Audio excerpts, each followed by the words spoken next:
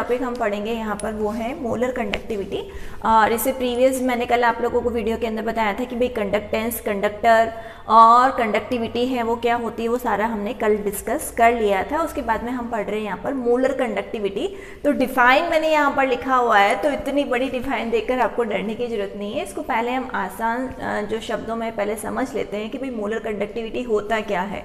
तो मोलर से हम जो मीनिंग निकाल सकते हैं, वो तो हो गया वन मोल यहाँ पर जो अगर हम सीधा सीधा समझें, बिना डिफाइन के ऊपर गए पहले तो वन मोल जो इलेक्ट्रोलाइट है, उससे जो आयंस प्रोड्यूस हो रहे हैं और वो वहाँ पर क्या कंडक्टिविटी दे रहे हैं, हमको क्या कंडक्टेंस है वो दे रहे हैं तो वो वहाँ पर क्या कहलाएगा? मोलर कंडक्टिविटी कहलाएगा। उसमें एक कंडीशन और हमको जोड़ देनी है कि जो इलेक्ट्रोड्स हमने रखे हैं, उनकी जो लेंथ है, वो होनी चाहिए वहाँ पर यूनिट लेंथ उनके बीच की जो डिस्टेंस है मतलब जो इलेक्ट्रोड्स हमने यहाँ पर जो प्लेस कर रखे हैं तो इनके बीच की जो डिस्टेंस है, वो जैसे यहाँ पर हमने ले लिया वन सेंटीमीटर तो यहाँ पर अब इनके बीच की जो डिस्टेंस जब हमने वन सेंटीमीटर कर लिया, यहाँ पर जो इलेक्ट्रोलाइट हमने कर रखा है, उसको हमने कितना ले लिया? वन मोल ले लिया। तो उस कंडीशन के अंदर वहाँ पर जो कंडक्टेंस हमको मिल रही है, वो वहाँ पर क्या कहलाएगी? मोलर कंडक्टिविटी है, वो कहलाएगी। तो दो कंडीशन आपको ध्यान में रखनी है बस। आपको ध्यान में रखना है कि वन मोल इलेक्ट्रोलाइट हमको लेना है और साथ ही साथ जो इलेक्ट्रोड के जो बीच की डिस्टेंस है, वो हमें यूनिट लेंथ है, वो लेना है। मतलब वहाँ पर वन सेंटीमीटर जैसे हमने रख लिया, वहाँ पर। तो उस कंडीशन के अंदर जो भी हमको वहाँ पर कंडक्टिविटी जो मिल रही है हमको तो उसको हम क्या कहेंगे? वहाँ पर मोलर कंडक्टिविटी ही कहेंगे। अब इसके डिफाइन हम देख लेते हैं यहाँ पर।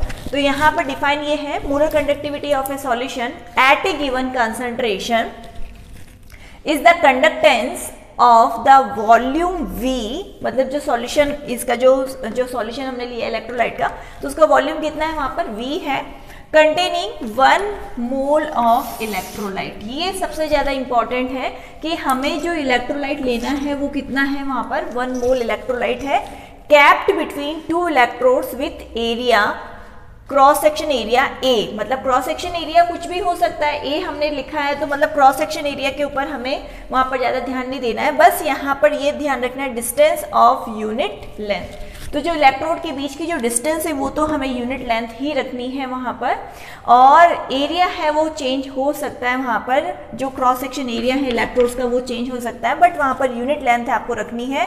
और वन मोल ऑफ़ इलेक्ट्रोलाइट लेना है तो उस कंडीशन के अंदर जो भी आपको वैल्यू मिल रही है कंडक्टेंस की तो वो कहलाएगी वहाँ पर मोलर कंडक्टिविटी अब यहाँ पर इसका जो फॉर्मूला क्या होगा, वो भी हम देख लेते हैं। और इससे किसको किससे डिनोट करते हैं, वो भी हम देख लेते हैं। तो यहाँ पर इसको जो सिंबल की अगर हम बात करें तो यहाँ पर इसको हम डिनोट करेंगे बाय लेमडा लेमडा ग्रीक जो लैंग्वेज है, उसका वर्ड है तो लेमडा एम इसको है वो लिखा जाएगा.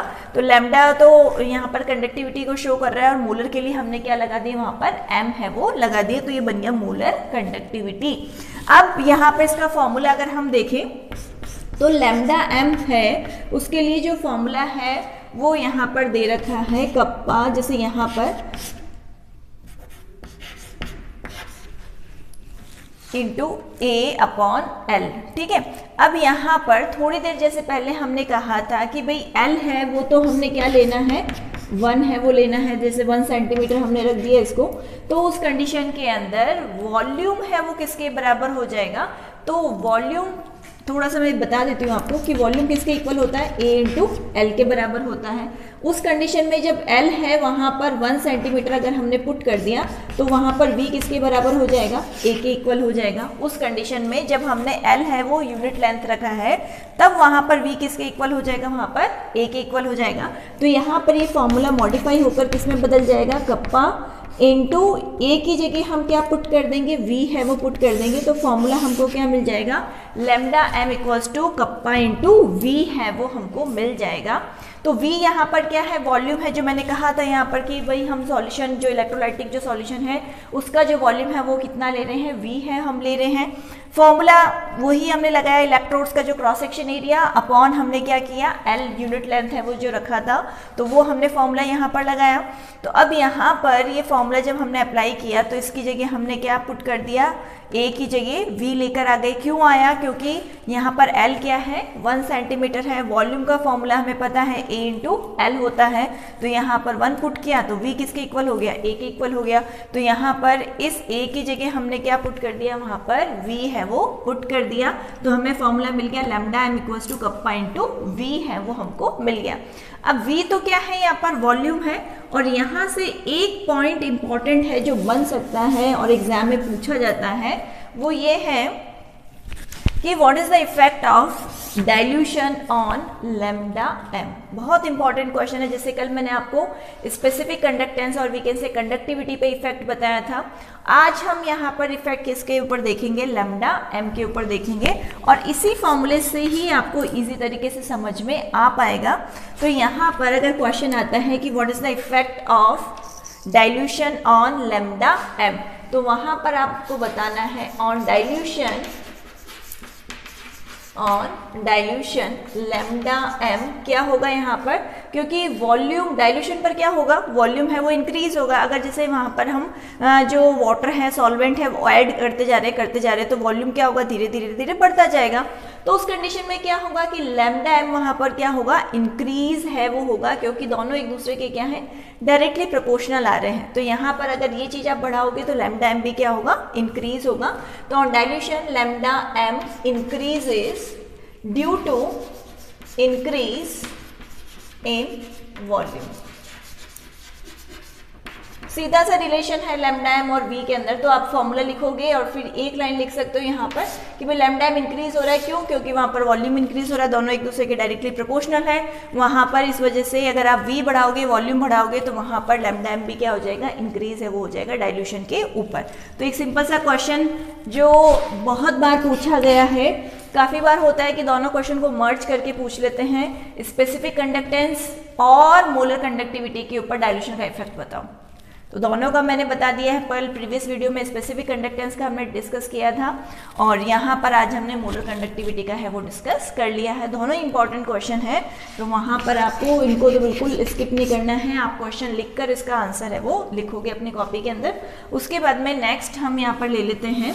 यहाँ पर इसको इस फॉर्मूले के अलावा, जैसे अगर वॉल्यूम नहीं लेकर हम कंसंट्रेशन की फॉर्म में इसको रिप्रेजेंट करना चाहें मोलर कंडक्टिविटी को तो वो हम किस तरीके से कर सकते हैं? तो एक रिलेशन हमेशा ध्यान रखना है कि वॉल्यूम और कंसंट्रेशन दोनों एक दूसरे के इन्वर्स वॉल्यूम और कंसंट्रेशन एक दूसरे के इन्वर्स हैं। कैसे हैं? अगर आप वहाँ पर वॉल्यूम बढ़ाते जाओगे तो कंसंट्रेशन हमेशा क्या होगी? डिक्रीज है, वो होगी। छोटा सा एग्ज़ाम्पल हम लेते हैं। हमने एक ग्लास पानी लिया, उसके अंदर हमने दो चम्मच है, वो अपने शुगर या सॉल्ट है, वो ऐड कर दिया। तो अभी जब आप उसको टेस्ट करके देखोगे तो आपको जो स्वीटनेस या जो अगर आपने सॉल्ट अगर ऐड किया है तो आपको वैसा है सॉल्टी टेस्ट है, वो आपको फील होगा। फिर जैसे जैसे आप पानी की अमाउंट है, वो बढ़ाते जाओगे, आपने उस ग्लास के अंदर एक ग्लास पानी और ऐड कर दिया या दो ग्लास पानी और ऐड कर दिया। तो वहाँ पर अब क्या होगा कि जो स्वीटनेस या जो हमें पहले फील हो रही थी, वहाँ पर या सॉल्टीनेस हमको जो फील हो रही थी तो वो धीरे धीरे क्या होता रहेगा, उसका जो टेस्ट है, वो क्या हो जाएगा, कम हो जाएगा और वीकेंड से उसकी कंसनट्रेशन वो क्या हो जाएगी, कम हो जाएगी। क्योंकि वहाँ पर अब हमने क्या कर दिया डाइल्यूशन बढ़ा दिया। तो उस कंडीशन के अंदर जो शुगर या उसके रिस्पेक्ट में जो सॉल्ट की कंसनट्रेशन है, वो क्या हो गई, बहुत कम हो गई, इस वजह से हमको टेस्ट है वो नहीं आएगा। तो हमेशा आपको ध्यान रखना है कि वॉल्यूम और कंसंट्रेशन है वो एक दूसरे के क्या होंगे? अपोजिट है वो होंगे। तो अब पहले वाले फॉर्मूले को अगर मुझे कंसंट्रेशन की फॉर्म में लिखना है तो मैं क्या लिखूँगी? कप्पा अपॉन सी लिखूँगी यहाँ पर। ठीक है? अब कंसंट्रेशन कंसंट्रेशन को हम किस तरीके से रिप्रेजेंट करते हैं? मोल पर लीटर ठीक है? मोल पर लीटर की फॉर्म के अंदर हम लेते हैं यहाँ पर। तो अब हमें यहाँ पर जैसे क्योंकि कल हम लोगों ने इसकी यूनिट है वो पढ़ी थी कप्पा की तो हम लोगों ने क्या पढ़ा था? वो सेंटीमीटर में लिया था। तो यहाँ पर अगर मैं चाहूँ इसको कि भाई ये भी मेरे पास में सेंटीमीटर में आना चाहिए तो आपको याद रखना है कि जो वन लीटर है वो थाउज़ेंड सेंटीमीटर क्यूब के बराबर होता है। ये आप रिलेशन है वो, ध्यान रखो सेंटीमीटर क्यूब के इक्वल है वो, होगा। ठीक है? अब यहाँ पर, अब ये फॉर्मूला किस तरीके से रिप्रेजेंट हो जाएगा? Lambda M equals to kappa क्योंकि हम लीटर को किसमें कन्वर्ट करना चाह रहे हैं? सेंटीमीटर क्यूब के अंदर कन्वर्ट करना चाह रहे हैं। तो ये हो जाएगा थाउज़ेंड और नीचे क्या आ जाएगा? सी आ जाएगा। तो ये हमारा फाइनल जो फॉर्मूला है वो हो जाएगा, जो हम लोग न्यूमेरिकल पर्पज से काम में है वो लेते हैं। तो फॉर्मूला यहाँ पर बन गया kappa into thousand upon C ये फॉर्मूला हमको यहाँ पर मिल जाएगा। अब इसकी यूनिट भी देख लेते हैं हम लोग। अब यूनिट अगर हम देखेंगे तो कल हम लोगों ने पढ़ा था कि भाई जो कप्पा है, उसके लिए जो यूनिट होती है, वो कितनी होगी वहाँ पर? साइमन सेंटीमीटर इनवर्स और यहाँ पर जब मैंने थाउज़ेंड लिखा है तो मैंने आपको बताया कि भाई यहाँ पर जो थाउज़ेंड हम लिख रहे हैं तो ये किसको रिप्रेजेंट करेगा यहाँ पर? सेंटीमीटर क्यूब को रिप्रेजेंट है, वो करेगा। अब नीचे क्या रह गया? मोल है वो, रह गया। तो यहाँ पर जिससे ये जो कैंसिल होना है, वो हो जाएगा। तो यहाँ पर बचेगा साइमन सेंटीमीटर स्क्वायर और ये हो जाएगा मोल इनवर्स तो यहाँ पर लेमडा एम की जो यूनिट है, वो ये हो जाएगी हमारे पास में। और अगर मीटर में लिखना चाहोगे तो मीटर स्क्वायर हो जाएगा, ऐसा यूनिट के अंदर मीटर स्क्वायर लिख देंगे और यहाँ पर आ जाएगा मोल इनवर्स ठीक है? तो इस तरीके से यहाँ पर हमने यूनिट भी देख ली कि भाई लेमडा एम की यूनिट है वो, क्या हो सकती है? अब लेमडा एम को कौन कौन से फैक्टर्स है, वो इफ़ेक्ट है, वो कर सकते हैं, वो भी हम यहाँ पर देख लेते हैं कि भाई क्या क्या फैक्टर्स हैं वो इसको यहाँ पर इफ़ेक्ट है, वो करेंगे। तो यहाँ पर हम देख लेते हैं, अब नेक्स्ट हेडिंग फैक्टर्स अफेक्टिंग अब इसमें सबसे पहला यहाँ पर आएगा टेम्परेचर टेम्परेचर का क्या इफ़ेक्ट होगा? टेम्परेचर बढ़ाने से क्या होगा कि भाई वहाँ पर फ्री जल्दी से जल्दी जो आयंस है वो क्या होंगे? वहाँ पर फ्री है, वो हो पाएँगे. तो टेम्परेचर जब भी आप बढ़ाओगे तो यहाँ पर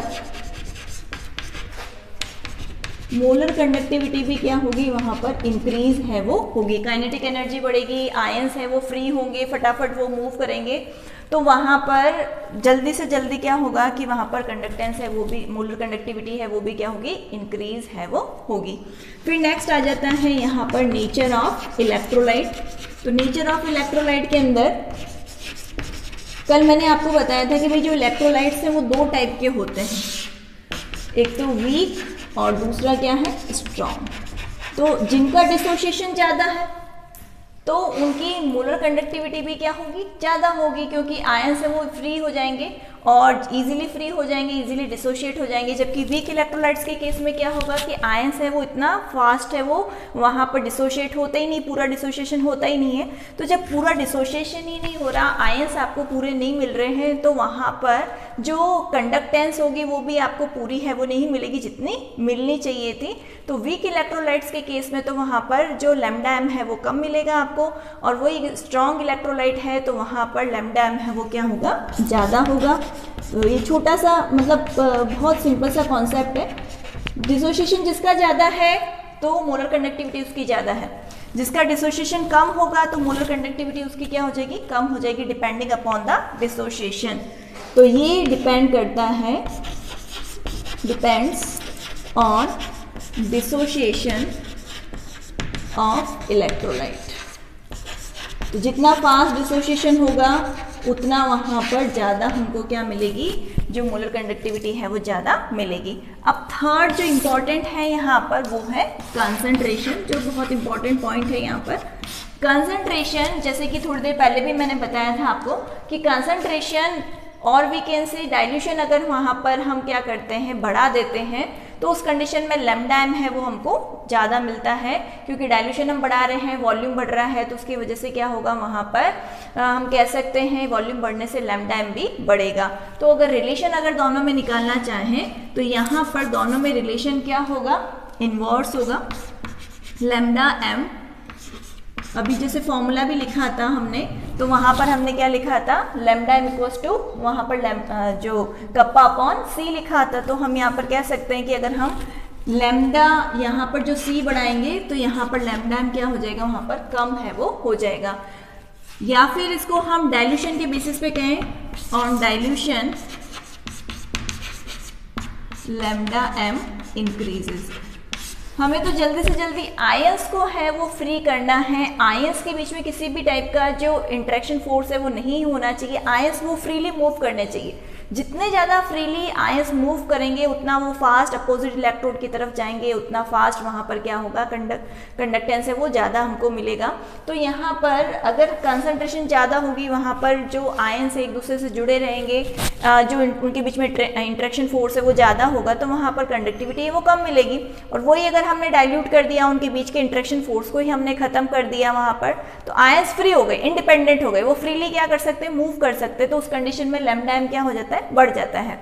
अब यहाँ पर ये एक साइंटिस्ट थे जो डिबाई हकल ओंसाजर जो पूरा मतलब उन्होंने अपना जो दिया था स्ट्रॉन्ग इलेक्ट्रोलाइट के रिस्पेक्ट में आ, उन्होंने क्या किया था उसको भी हम देख लेते हैं यहाँ पर। उन्होंने एक यहाँ पर ग्राफ है वो प्लॉट किया था लेमडा एम और वहाँ पर कंसंट्रेशन के बीच में। तो उन्होंने पाया वहाँ पर कि जैसे जैसे वहाँ पर कंसंट्रेशन है वो कम होती रहती है तो वहाँ पर लेमडा है, वो क्या होता है वहाँ पर? इंक्रीज है, वो होता है। तो ग्राफ उन्होंने प्लॉट किया था। लेमडा एम और रूट सी के बीच में। ठीक है? यहाँ पर उन्होंने ग्राफ प्लॉट किया लेमडा एम और रूट सी के बीच में। और उन्होंने जैसे देखा स्ट्रॉन्ग इलेक्ट्रोलाइट जैसे केसीएल के लिए वहाँ पर देखा। तो वहाँ पर क्या है कि भाई ये पीछे की तरफ़ जा रहे हैं। तो वहाँ पर कंसनट्रेशन क्या हो रही है? कम हो रही है। तो उसी रेस्पेक्ट में वहाँ पर लेमडा एम क्या हो रहा है वहाँ पर बढ़ रहा है, ये तो हो गया ओरिजन पॉइंट तो यहाँ पर इसके रेस्पेक्ट में ये क्या हो रहा है, वहाँ पर कम है, वो होता जा रहा है. पर यही सेम चीज़ जब उन्होंने देखा, कोई वीक इलेक्ट्रोलाइट लिया तो उन्हें ग्राफ है वो कुछ इस तरीके से मिला. जैसे weak electrolyte C S C O H लिया. तो यहाँ पर ग्राफ है वो कुछ इस तरीके से मिला, इस तरीके से हमको ग्राफ है वो नहीं मिला. फिर उन्होंने पाया कि भाई अगर जैसे ये जो लाइन मिल रही है, अगर वो उसको पीछे की तरफ़ एक्स्ट्रापोलेट करें तो एक पॉइंट ऐसा आएगा जिसके ऊपर कंसंट्रेशन क्या हो जाएगी? ज़ीरो हो जाएगी। कंसंट्रेशन वहाँ पर ज़ीरो हो गई तो उस कंडीशन के अंदर जो लेमडा एम जो मिलेगा हमको, वो हाईएस्ट है, वो मिलेगा। वो बहुत हाईएस्ट पॉइंट होगा। तो वो जो लेमडा एम नॉट जो हाईएस्ट पॉइंट है उसको उन्होंने वहाँ पर नाम दे दिया लिमिटिंग मोलर कंडक्टिविटी उसको नाम क्या दे दिया? लिमिटिंग मोलर कंडक्टिविटी और उसको सिंबलाइज किससे किया? लेमडा एम नॉट से है वो, यहाँ पर डिनोट है वो किया। तो स्ट्रॉन्ग इलेक्ट्रोलाइट के लिए तो हमें ये पॉइंट मिल रहा है बट वीक इलेक्ट्रोलाइट को कितना भी एक्स्ट्रा बुलेट कर लो, फिर भी ये लाइन इसके क्या चलेगी? पैरेलल ही चलेगी। यहाँ पर ये इसको इंटरसेक्ट है, वो नहीं कर पाएगा। तो उन लोगों के दिमाग में ये आ रहा था कि भाई, चलो स्ट्रॉन्ग इलेक्ट्रोलाइट के लिए तो हमने ये पॉइंट है, वो फाइंड आउट कर लिया जो, जिसपे हमें हाईएस्ट मोलर कंडक्टिविटी मिल रही है। जो हम कह सकते हैं कंसंट्रेशन अप्रॉक्स है, वो ज़ीरो पहुँच रही है। बट ऐसा वीक इलेक्ट्रोलाइट के केस में नहीं हो रहा। और वो चाहते थे कि भाई, हमें वीक इलेक्ट्रोलाइट के लिए भी वहाँ पर क्या करना है फाइंड है, वो करना है कि किस तरीके से लेमडा एम नॉट इसके लिए भी फाइंड किया जाए वीक इलेक्ट्रोलाइट के लिए। तो फिर बाद में जो कॉलराउश करके एक जो साइंटिस्ट थे, वो आए और उन्होंने फिर वहाँ पर अपना एक लॉ दिया, जिससे वहाँ पर हम वीक इलेक्ट्रोलाइट जिसकी मतलब एज ए एप्लीकेशन हम उस पर्टिकुलर लॉ की एप्लीकेशन के थ्रू वहाँ पर वीक इलेक्ट्रोलाइट्स की इनडायरेक्ट मेथड से वहाँ पर लेमडा एम नॉट है, वो फाइंड कर सकते हैं। तो लेमडा एम नॉट होता क्या है, पहले उसको हम लिख लेते हैं। Lambda M naught the molar conductivity.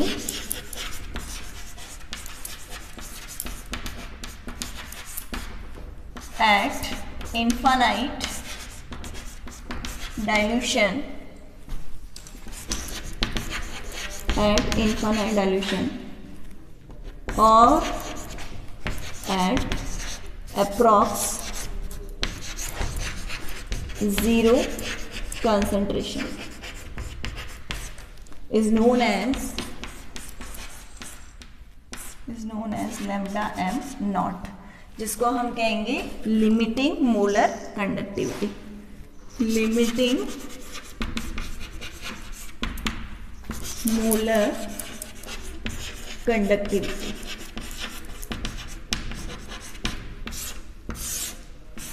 symbol हमें पता ही है लेमडा एम नॉट हो गया यहाँ पर। किस तरीके से ये हमने देखा कि भाई स्ट्रॉन्ग इलेक्ट्रोलाइट के लिए ये मिल रहा था और वीक इलेक्ट्रोलाइट के लिए हमें लेमडा एम नॉट नहीं मिल पा रहा है। तो पहले तो हमें ये समझना है कि लेमडा एम नॉट है क्या? अगर आपके दिमाग में आ रहा हो कि भाई ये इन्फानाइट डायल्यूशन कैसे पॉसिबल है तो बिल्कुल पॉसिबल है। इन्फानाइट डायल्यूशन का मतलब है कि कंसंट्रेशन अप्रॉक्स ज़ीरो पहुँचने से मतलब है कि अभी जैसे थोड़ी देर पहले मैंने आपको एक ग्लास का एग्जांपल दिया था अभी एक वन ग्लास आपने वाटर लिया, उसमें दो चम्मच हमने वहाँ पर क्या डाल दिया, वहाँ पर शुगर है वो ऐड कर दिया। फिर मैंने कहा था कि हमने उसमें पानी का जो अमाउंट है वो बढ़ा दिया। तो वहाँ पर स्वीटनेस है, वो क्या हो जाएगी? कम हो जाएगी। अब वही हमने सिर्फ़ दो चम्मच शुगर है, अभी तो एक ग्लास में ऐड किया था और अभी हम क्या करें, उसे कि बहुत बड़ा हम कैन ले लें पानी का जो वाटर कैंस आते हैं, बहुत बड़ा जैसे जिसमें मतलब पानी का अमाउंट है वो 25 लीटर हो या 30 लीटर हो, उसमें हमने सिर्फ़ दो चम्मच है वो चीनी है वो ऐड कर दिया शुगर ऐड कर दिया। तो अब अगर हमको उसको, हम उसको अच्छे से मिक्स कर दें तो हमें वहाँ पर बिल्कुल भी पता नहीं चलेगा कि उसके अंदर हमने शुगर है वो ऐड करी है, क्योंकि पानी का अमाउंट है वो बहुत ज़्यादा हो गया, बहुत ज़्यादा हो गया। तो उसके रिस्पेक्ट में वहाँ पर कंसनट्रेशन क्या हो गई अप्रॉक्स ज़ीरो हो गई। तो वो हम उस पर्टिकुलर कंडीशन को हम क्या कह सकते हैं? इन्फानाइट डायल्यूशन है, वो कह सकते हैं, जिसके अंदर कंसनट्रेशन अप्रॉक्स ज़ीरो है, वो पहुँच जाती है, क्योंकि सॉल्वेंट का कंसनट्रेशन क्या हो गया? बहुत ज़्यादा हो गया। सॉल्वेंट का अमाउंट है, वो ज़्यादा हो गया, और भी कैसे डायल्यूशन है, वो बहुत ज़्यादा हो चुका है। तो ये बताया किसने था? सबसे पहले डिबाई हकल ऑनसाजर ने ये ग्राफ है, वो प्लॉट किया था। और जो उन्होंने इक्वेशन वहाँ पर दी थी, उन्होंने जब ये बताया था कि भाई lambda M lambda M naught के बारे में तो उन्होंने ये इक्वेशन दिया था lambda M equals to lambda M naught minus A root C ये वहाँ पर उन्होंने इक्वेशन दिया था, उसके अकॉर्डिंग जब उन्होंने ग्राफ है वो प्लॉट किया लेमडा एम और रूट सी के लिए। तो यहाँ पर आप देख सकते हो कि जो स्लोप है वो क्या आ रहा है, वहाँ पर नेगेटिव है, वो आ रहा है। तो ये तो हो गया हमारा स्लोप और वही इक्वेशन हम क्या लिखते हैं Y equals to M X plus C इसके अकॉर्डिंग हम क्या करते हैं यहाँ पर, जो ग्राफ है वो प्लॉट करते हैं। तो यहाँ पर स्लोप हमको कैसा मिल रहा है? वो नेगेटिव है, वो मिल रहा है। एक्स हमारा क्या हो गया? रूट सी है, वो हो गया। इंटरसेप्ट हमारा क्या हो जाएगा? लेमडा एम नॉट है, वो हो जाएगा। तो ये उन्होंने डिबाई हकल ऑनसाजर ने जो दिया था इक्वेशन, वैसे एन e में नाम नहीं दे रखा है बट फिर भी हमें पता होना चाहिए कि जो डिबाई हकल ऑनसाजर ने इक्वेशन दिया था, उसके अकॉर्डिंग हमने ग्राफ प्लॉट किया। तो हमें स्ट्रॉन्ग इलेक्ट्रोलाइट के लिए तो लेमडाइम नॉट मिलता है बट वीक इलेक्ट्रोलाइट के लिए हमें नहीं मिल पाता है। अब हम आ जाते हैं कॉलराउश लॉ के ऊपर, जिन्होंने बताया था अपना लॉ, जिसके अकॉर्डिंग हम वहाँ पर क्या कर सकते हैं lambda M naught weak electrolytes के लिए भी क्या कर सकते हैं फाइंड है वो, कर सकते हैं। अब यहाँ पर देख लेते हैं हम कॉलराउश लॉ। इस लॉ के according this law state that limiting molar conductivity limiting molar conductivity का मतलब molar conductivity at infinite dilution मतलब lambda M naught of an electrolyte can be represented as the sum of individual contribution of anion and cation अब इसको अगर normal मतलब एकदम सरल अगर शब्दों में समझें तो अगर हमने इन्फानाइट डायल्यूशन अगर कर दिया है वहाँ पर तो उस कंडीशन में होगा क्या? कि जितने भी जो इलेक्ट्रोलाइट्स के वहाँ पर जो हम कह सकते हैं कि भाई वहाँ पर जो भी हमने सॉल्ट है वो लिया था तो उनके बीच के अंदर, जैसे जैसे हम डायल्यूशन बढ़ाते जाएँगे, वैसे वैसे उनके बीच का इंट्रैक्शन फोर्स है, वो खत्म हो जाएगा। और हर एक इंडिविजुअल आयन मतलब कैटायन भी हो सकता है और एनायन भी हो सकता है। वो इंडिविजुअली वहाँ पर माइग्रेट कर सकता है, वहाँ पर करंट को कैरी है, वो कर सकता है। तो उस कंडीशन में वहाँ पर दोनों का कंट्रीब्यूशन है, वो इक्वल है, वो होगा। वहाँ पर और जो लेमडा एम के लिए हम फाइंड करने के लिए दोनों का कंट्रीब्यूशन है, हम देखेंगे। क्योंकि अब दोनों है, वो फ्री हो चुके हैं। किसी के ऊपर भी कोई भी इंट्रेक्शन फोर्स है, वो अप्लाई नहीं होगा उस कंडीशन में। बिल्कुल फ्री हो जाएँगे आयंस वो फ्रीली है, वो क्या कर सकते हैं? इंडिपेंडेंटली माइग्रेट है, वो कर सकते हैं? टूवर्ड्स अपोजिटली चार्ज इलेक्ट्रॉन वो वहाँ पर क्या कर सकते हैं? मूव है, वो कर सकते हैं वहाँ पर। तो उस कंडीशन में क्या है कि भाई हमें दोनों का कंट्रीब्यूशन देखना होगा। तो हम यहाँ पर क्या लिखेंगे? Lambda M naught equals to V plus lambda M naught plus मतलब केटायन हो गया। और V minus lambda M naught minus मतलब एनायन हो गया। अब ये V प्लस और V माइनस क्या है यहाँ पर? तो ये तो होगा नंबर ऑफ़ केटायन और ये होगा यहाँ पर नंबर ऑफ़ एनायन फॉर्मूले पे डिपेंड करता है। पहले सिंपल एग्जांपल देख रहे थे। जैसे एन ई सी सबसे सिंपल एग्जांपल है तो उसके लिए अगर हम देखें वहाँ पर तो lambda M naught N A C L के लिए अगर हमें फाइंड करना है तो हम क्या लिखेंगे वहाँ पर? Lambda M lambda M naught N A plus plus lambda naught C L minus अब यहाँ पर, क्योंकि एन जब हम लिखते हैं तो नंबर ऑफ़ कैटैन और number of anions are one दोनों के लिए वन वन ही है। तो हम वहाँ पर कोई आगे कुछ नंबर है वो नहीं लिख रहे हैं। वही अगर हमें यही सेम चीज़ अगर वहाँ पर लेमडा एम नॉट अगर हमें B A C L two के लिए लिखना होता तो उस कंडीशन में हम क्या करते हैं वहाँ पर? लेमडा नॉट और यहाँ पर तो हम लिखेंगे बी ए प्लस टू क्योंकि बेरियम तो वहाँ पर वन ही है और उसके ऊपर चार्ज कितना है? प्लस टू है, वो हमने लिख दिया। But in case of C L minus C L के नीचे कितना नंबर लिखा हुआ है? टू लिखा हुआ है। तो यहाँ पर हम क्या लिख देंगे? टू है वो, लिख देंगे। तो यहाँ पर हमने आगे लिख दिया टू जो रिप्रेजेंट कर रहा है, यहाँ पर वी माइनस को नंबर ऑफ़ एनायंस को।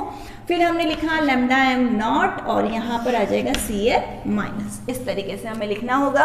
तो हमने यहाँ पर फाइंड कर लिया। B A C L two के लिए इसी तरीके से कोई और भी अगर कोई फॉर्मूला अगर दे रखा हो, जैसे कैल्शियम फॉस्फेट है, अगर दे रखा है, कोई भी अगर दे रखा है तो वहाँ पर उनके जो फॉर्मूले में जो नीचे जो नंबर दे रखे हैं, उनके ऊपर आपको फोकस करना है और वो यहाँ पर फॉर्मूले के इसमें कॉन्ट्रीब्यूशन के अंदर उनके नंबर को आगे आपको रिप्रेजेंट करना होगा, चाहे केटाइन का हो, चाहे एनान का हो, चाहे दोनों का ही अगर दे रखा होगा तो दोनों के ही नंबर वहाँ पर आगे है, वो लिखे जाएँगे।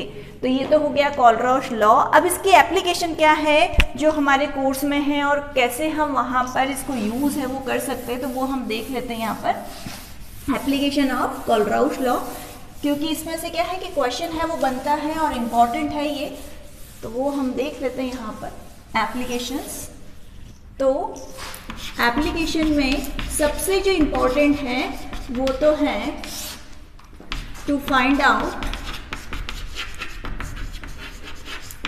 lambda M naught for weak electrolyte ये सबसे इंपॉर्टेंट इसका एप्लीकेशन हम मान सकते हैं वीक इलेक्ट्रोलाइट के लिए हम क्या कर सकते हैं? लेमडा एम नॉट है वो फाइंड कर सकते हैं। इनडायरेक्ट मेथड है, पर इस पर्टिकुलर लॉ को यूज़ करके हम वहाँ तक पहुँच सकते हैं।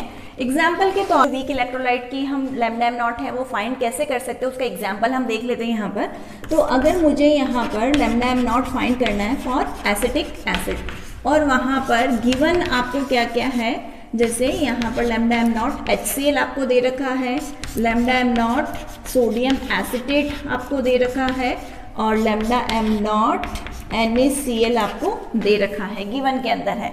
तो उससे हम यहाँ पर कैसे पहुँच सकते हैं? तो वो हम यहाँ पर देख लेते हैं। तो अगर एच सी एल अगर दे रखा है तो इसका मतलब है जब हम इसका कॉन्ट्रीब्यूशन लिखेंगे तो हमें क्या मिलेगा? H plus plus lambda M naught C L minus मिलेगा। इसी तरीके से इसके लिए हमें क्या मिलेगा? Lambda M naught C S three C O O minus plus lambda M naught N A plus हमको यहाँ से मिल जाएगा। फिर इसके लिए कॉन्ट्रीब्यूशन जब आप लिखोगे तो आपको मिलेगा N A plus plus lambda M naught C L minus ये हो गया इक्वेशन वन ये हो गया इक्वेशन टू ये हो गया इक्वेशन थ्री अब यहाँ पर आपको करना क्या है? सिंपली आपको ये करना है कि जो चीज़ें आपको यहाँ पर इसके लिए चाहिए, वो उनको ऐड कर लो, जो नहीं चाहिए उसको वहाँ पर माइनस कर दो। तो मुझे यहाँ पर एक तो चाहिए एसिटेट आयन तो एसिटेट आयन मुझे यहाँ से मिल रहा है। साथ ही साथ मुझे H प्लस भी चाहिए तो मुझे कहाँ कहाँ से मिल रहा है? इक्वेशन वन से मिल रहा है। और इक्वेशन थ्री में से मुझे कुछ भी नहीं चाहिए, दोनों ही मेरे काम के नहीं है तो उसको हम क्या कर देंगे? माइनस है, वो कर देंगे। तो हम लिख देंगे यहाँ पर by adding one and two and then subtracting equation 3 we have अगर हमने वन और टू को ऐड कर दिया तो हमें क्या मिलेगा वहाँ पर? Lambda M naught H plus plus lambda M naught C L minus plus lambda M naught C H three C O O minus plus lambda M naught N A plus फिर हमने माइनस करना है इसको। ये तो हो गया हमारा सारा। फिर हमने माइनस करना है lambda M naught N A plus फिर minus lambda M naught C L minus तो ये जब आपने किया यहाँ पर तो यहाँ पर ये और ये प्लस का और ये माइनस का कैंसिल आउट हो गया। ये प्लस का और ये माइनस का ये क्या हो गया? कैंसिल आउट हो गया। तो हमें यहाँ पर क्या मिलेगा? Lambda M naught H plus plus lambda M naught C H three C O O minus तो ये हमको मिल जाएगा जो किसके इक्वल होगा? Lambda M naught C S three C O O H के इक्वल होगा। तो अगर हमको वहाँ पर वीक इलेक्ट्रोलाइट्स जो सॉरी बाकी सबकी अगर वहाँ पर लेमडा एम नॉट गिवन है तो उसे हम इनडायरेक्ट तरीके से यहाँ पर वीक इलेक्ट्रोलाइट की हमने लेमडा एम नॉट है, वो फाइंड कर ली। तो इस तरीके से अगर इनकी वैल्यूज़ क्वेश्चन में जनरली गिवन है, वो रहती हैं तो हमें क्या करना होगा कि भाई एच और सोडियम एसिटेट की तो हमें ऐड कर लेनी है तो मैंने पूरा आपको डिस्क्राइब करने के लिए, हम किस तरीके से वहाँ पर पहुँचे, इसलिए मैंने बताया। एग्ज़ाम में जब न्यूमेरिकल आएगा तो आपको पूरा इस तरीके से करने की ज़रूरत नहीं है, आपको तो सिंपली वहाँ पर HCL और सोडियम एसिटेट की वैल्यू तो आप क्या करोगे? ऐड कर लोगे और माइनस किसकी कर दोगे? वहाँ पर NaCl की माइनस कर दोगे। तो आपको वहाँ पर डायरेक्ट आंसर मिल जाएगा सोडियम एसिटेट का लेमडा नॉट है, वो मिल जाएगा लिमिटिंग मोलर कंडक्टिविटी उसकी मिल जाएगी। यहाँ तो मैंने पूरा समझाने के लिए आपको पूरा एक बार बताया है। अदरवाइज़ जो भी चीज़ें हमें चाहिए होती हैं तो उनको तो हमें क्या करना है? ऐड करना है और जो नहीं चाहिए उसको क्या कर देंगे? उसमें से माइनस कर देंगे। तो अगर सपोज़ इसकी वैल्यू 100 होती, इसकी 100 होती और इसकी 50 होती तो हम क्या करते? 100 प्लस हंड्रेड टू और उसमें से 50 माइनस कर देते। तो वहाँ पर हमें आंसर जो मिलता वो किसको शो करता? वहाँ पर limiting molar conductivity of acetic acid को शो करता। तो ये तो हो गया सबसे जो मेजर एप्लीकेशन है, जो सबसे हमारा लिए इंपॉर्टेंट एप्लीकेशन है, वो हो गया यहाँ पर। फिर सेकेंड एप्लीकेशन इसका क्या हो सकता है यहाँ पर? सेकेंड हम यहाँ पर ये पता लगा सकते हैं, क्योंकि जैसे कि मैंने कहा था कि भाई हम डाइल्यूशन कर रहे हैं तो डाइल्यूशन की वजह से इंटरेक्शन फोर्सेस है, वो क्या होंगे उनके बीच के? आयंस के बीच में खत्म होते चले जाएँगे। वहाँ पर डिसोसिएशन है, वो ज़्यादा होगा। तो यहाँ पर हम क्या पता लगा सकते हैं डिग्री ऑफ़ डिसोशिएशन है, वो भी पता लगा सकते हैं। डिग्री ऑफ़ डिसोशिएशन मतलब अल्फ़ा अल्फ़ा हम क्या कर सकते हैं यहाँ पर? फाइंड है, वो कर सकते हैं। फॉर्मूला हमको याद रखना पड़ेगा।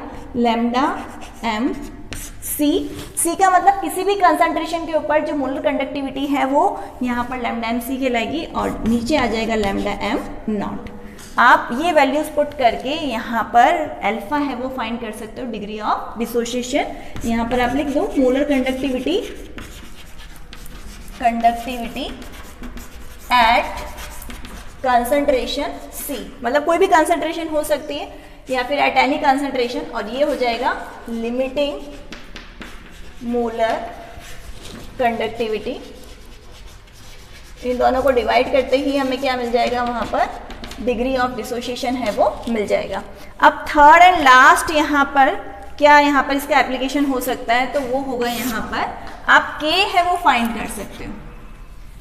के यहाँ पर आप निकाल सकते हो जो कांस्टेंट है इक्विलिब्रियम कांस्टेंट है, वो फाइंड कर सकते हो। फॉर्मूला आप क्या निकाल लगाओगे इसके अंदर। ये फ़र्स्ट हो गया यहाँ पर सेकंड एप्लीकेशन ये हो गया, और इससे हम क्या निकाल सकते हैं? यहाँ पर इक्विलिब्रियम कांस्टेंट है, वो फाइंड कर सकते हैं। फॉर्मूला हो जाएगा C alpha square upon one minus alpha इसको तो हम नेग्लिजिबल मानते हैं। तो यहाँ पर हमने क्या रख दिया? सी एल्फा स्क्वायर रख दिया। तो एल्फा फाइंड कर लिया। उसके बाद में कंसनट्रेशन से उसको मल्टीप्लाई कर दिया तो आपको क्या मिल जाएगा? वहाँ पर के है वो, मिल जाएगा। तो इस तरीके से हमने यहाँ पर तीन एप्लीकेशन देखी कॉलराउश लॉ की, जिसके थ्रू हम यहाँ पर वीक इलेक्ट्रोलाइट का लेमडैम नॉट फाइंड कर सकते हैं एल्फा फाइंड कर सकते हैं, और साथ ही साथ वहाँ पर के भी इक्विलिब्रियम कांस्टेंट भी हम यहाँ पर क्या कर सकते हैं? फाइंड है वो, कर सकते हैं। तीनों ही इंपॉर्टेंट एप्लीकेशन है, तीनों ही न्यूमेरिकल के फॉर्म के अंदर पूछी जा सकती हैं, इनके ऊपर बेस्ड न्यूमेरिकल है, वो आते हैं। तो आज तो इस वीडियो के अंदर हमने डिस्कस किया है इन सब चीज़ों के बारे में molar conductivity limiting molar conductivity किस तरीके से हम यहाँ पर पहुँचे मोलर कंडक्टिविटी को कौन से फैक्टर्स है वो अफेक्ट करते हैं। फिर कॉलराउश लॉ जो आगे से आगे लिंक्ड था लिमिटिंग मोलर कंडक्टिविटी से ही यहाँ पर कॉलराउश लॉ आया, जिससे हमने वीक इलेक्ट्रोलाइट की जो हम कह सकते हैं कि लेमडैम नॉट है वो फाइंड की। इंपॉर्टेंट तो यही था क्या तो यहाँ पर इस तरीके से हमने ये सारा डिस्कस किया इस वीडियो के अंदर। अब नेक्स्ट वीडियो के अंदर हम देखेंगे कि भाई इनसे रिलेटेड क्वेश्चंस है, वो क्या क्या आ सकते हैं, जो भी अभी तक हमने पढ़ा है कंडक्टिविटी कंडक्टेंस या फिर यहाँ पर मोलर कंडक्टिविटी के ऊपर बेस्ड क्वेश्चन कॉलराउश लॉ के ऊपर बेस्ड क्वेश्चन क्या क्या बनते हैं, वो हम नेक्स्ट वीडियो के अंदर डिस्कस करेंगे। Thank you